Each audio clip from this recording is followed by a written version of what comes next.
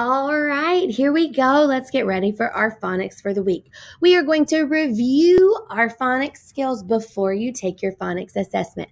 Now, remember, you want to have your phonics assessment page set up with the sounds on one side, the words on the other side, and then room for a sentence in your red words at the bottom. Okay, starting next week, you will have a page that you can write them on and you won't have to make your own. But today, we're going to make our own. All right, here we go. This week we have started learning about the very first of our H brothers who is named Chuck. And remember, he likes trains and he likes to go ch, ch, ch. Okay, we've talked about the H brother Chuck and he makes the ch sound.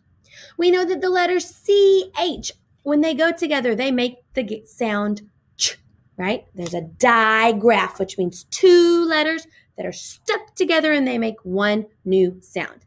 The letters CH together make the ch sound. We also learned about a trigraph, which means that there are three letters in this trigraph. And we put a dash in front of it to show us that the trigraph, TCH, says ch. Those three letters always go together, but they're always going to come at the end of a word or a syllable. Okay? Now, let's look at our pattern or our rules. When do we use CH? Or when do we use TCH? Well, remember, if the ch sound comes at the beginning of a word, we are going to use the letters CH always at the beginning. If we hear or the if we see TCH at the end of a word, we know that that or that that's going to be the end of the word or syllable because it can't come at the beginning. So TCH, we use that at the end but not always. TCH is not the only way to spell ch at the end of a word. So let's look at those rules. All right. Now, we know that CH is used at the beginning, but it can also be used at the end of a word if that consonant sound comes before this ch sound. Like in our words, remember, lunch they have that N that separates that short vowel from this ch sound, or ranch, or search, right? We also know that it comes, that CH comes after those long vowels, or those vowels that say their name, like beach, or peach, or teach, right? So if it has a long vowel, we use CH, or if it has another letter in between the vowel and the ch sound, we're going to use CH. But if we hear the short vowel or a vowel that says its sound in the in the middle of a word, we're going to use TCH. Okay? Like in switch, ditch, stretch. Okay? So we want to make sure we're listening for those vowel sounds to help us decide if we're going to use CH or TCH at the end of a word. All right, are you ready to write some words? I know you are. So here we go. I want you to look at your page. Remember, today on our phonics assessment, I don't show you the words. So you're going to write the words the best you can, listening for those vowel sounds and practicing the phonics skills we've used this week. Okay? Here we go. Word number one patch. Patch. Patch. Patch.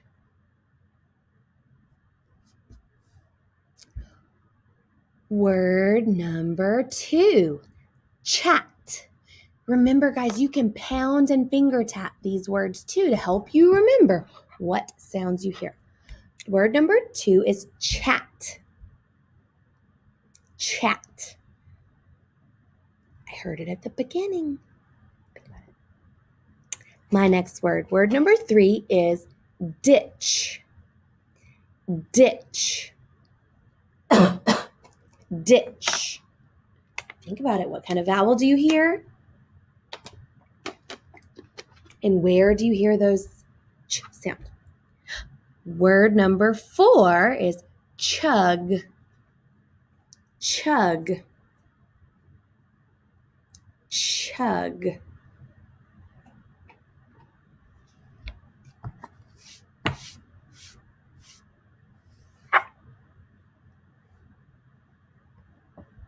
My last word is lunch. Lunch. Lunch. All right. We're going to move on. Oh, no. Do you know what Miss Gates forgot to do? I forgot to do our sounds. So we wrote our words, but let's write our sounds, okay? Here we go. Let's look at our first sound, all right? We know one way to make this sound. Let's show me the way to make the I sound. I.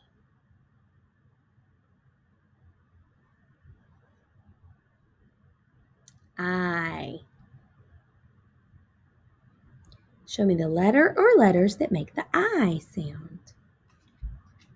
The second letters that I want you to write, I know three ways to make this sound. I want you to write the sounds or the letters or letters that make the k sound. Three ways.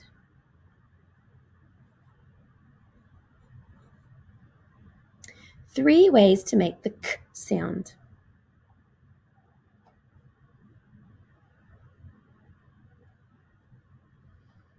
No, sound number three. We know two ways to spell this sound.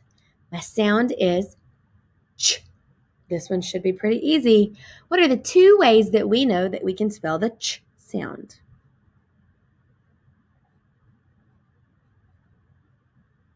Ch.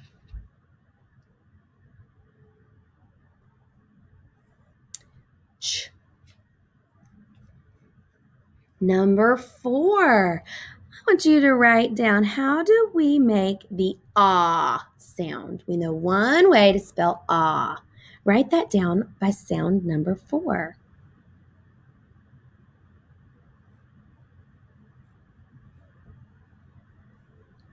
And sound number five today, we know two ways to make the f sound. F. F. Two ways. So you should have two sounds written down on that one. All right, Let's move on. We're going to write our sentence. And remember, this sentence is going to be pretty long. So I'm going to read it two times and then I'll break it down slowly for you, but you can pause your video at any time if you need to catch up. Okay? Here is our sentence. Ready?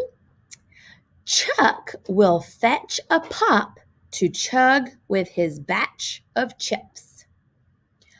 Chuck will fetch a pop to chug with his batch of chips. All right, here we go. Chuck will fetch. Chuck will fetch.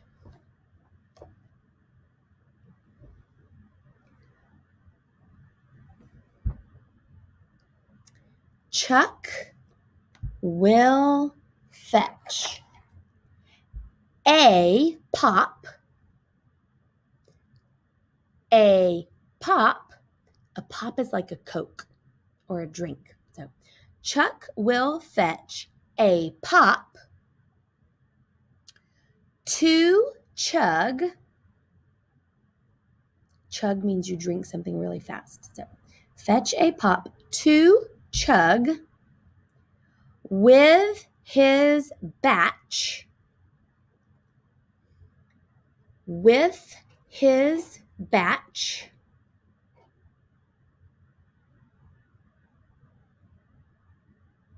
With his batch of chips. Of chips.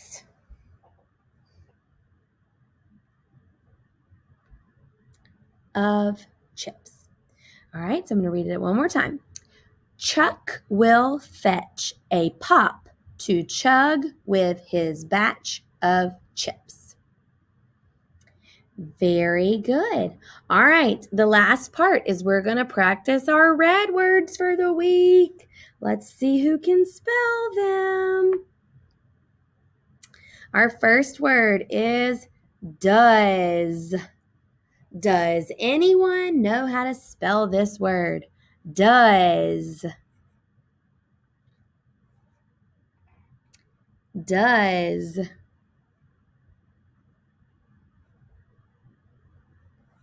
Does.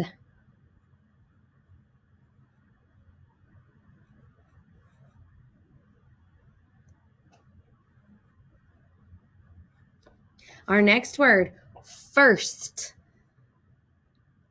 First. Last year you were in first grade. First.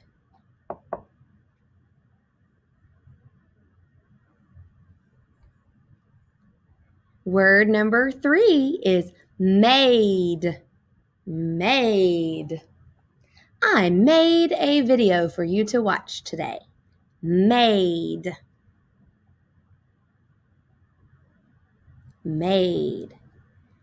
And our fourth red word for today is very. Very. Very. All right. Good job, guys.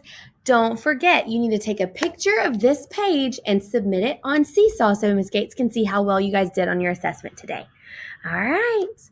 See you later.